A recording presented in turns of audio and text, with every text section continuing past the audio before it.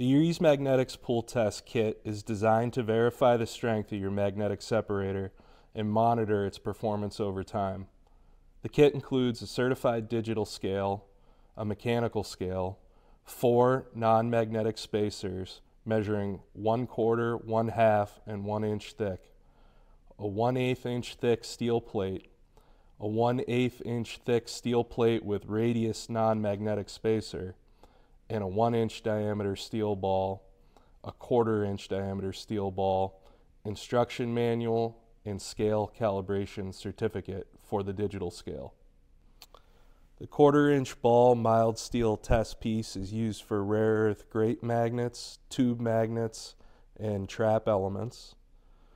The one inch by three inch by one eighth inch thick plate test piece is used for our plate magnets as well as the various sizes of aluminum spacers that are required depending on the strength of the plate magnet.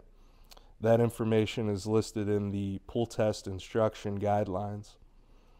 We also have a one inch by three inch uh, customized test piece with a half moon configuration for ceramic tube magnets. On the digital scale, you can toggle between units, ounces, pounds, newtons, kilograms, and other weights of measure.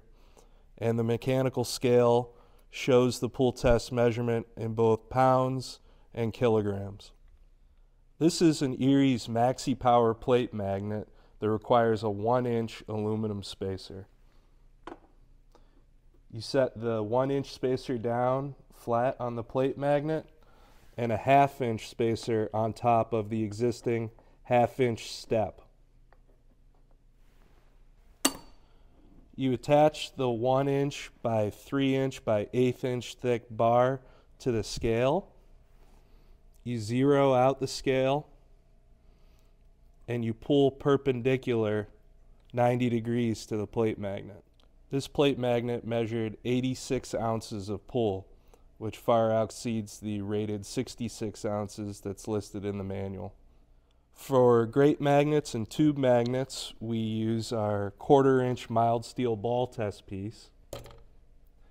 The quarter inch mild steel ball will attach to one of the poles on the tube magnets.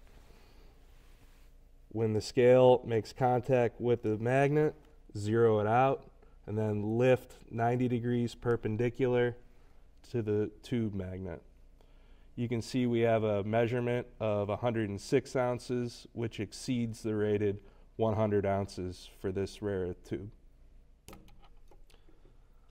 On a tube or grate magnet, it's a good idea to take multiple readings on different areas of the tube.